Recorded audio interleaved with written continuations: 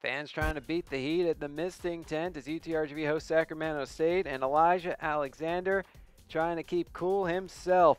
RBI single to cap a three-run second inning there. And now let's play a little bit of defense. Austin Cena from first to his knees. Oh, he holds on to the baseball. Now, a little later on, Oliver Closner at the plate doubles to right field. That brings home a run. At the time, it brought UTRGV within 5-4. Now, it's all part of a three-run inning. The other two runs are going to score right here. Pop up to short should end the inning, right? Nope.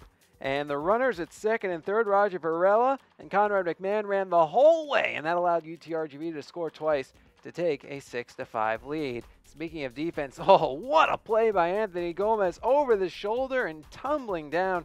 UTRGV adding a little insurance in the eighth.